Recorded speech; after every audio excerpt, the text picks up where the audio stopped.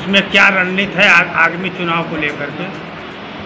देखिए, आगामी चुनाव में हमारी रणनीति है जिससे हमारा, हमारे हमारे मुद्दे मिलेंगे, जो हमारे विचारों को मानेगा।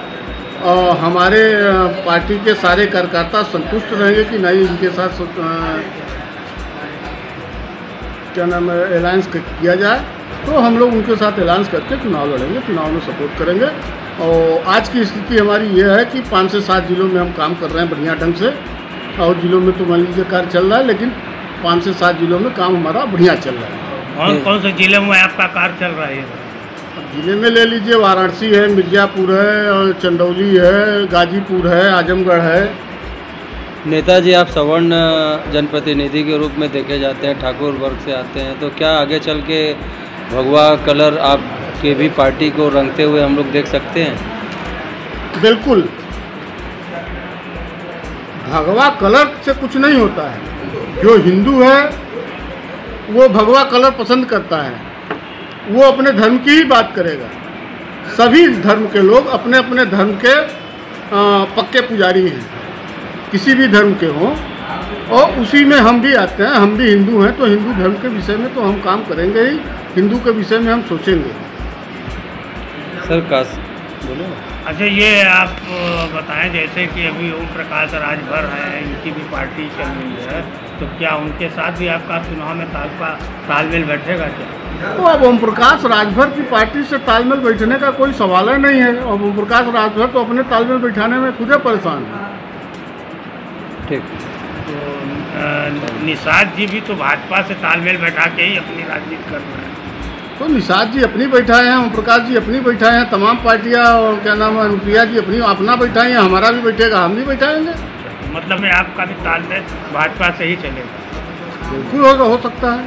संदेश है ये जनता के बीच में हमारा ये संदेश है कि जनता देखिए आज के डेट में गरीब सारी पार्टियाँ गरीब की बात करती हैं।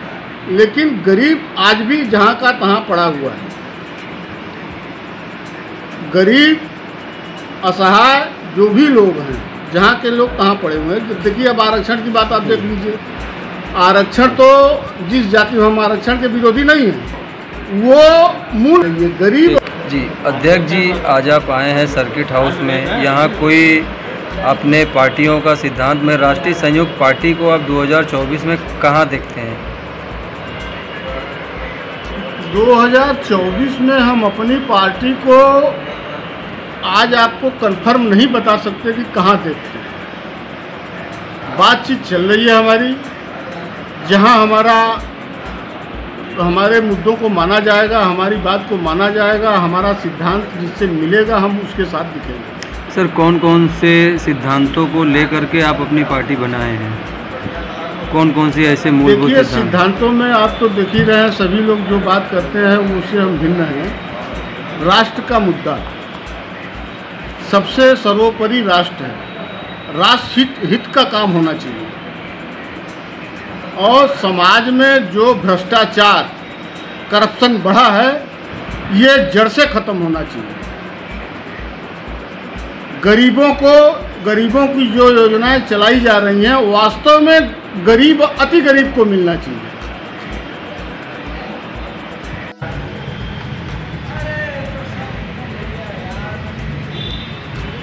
मतलब नहीं है तो ये लाइन छोड़ दीजिए।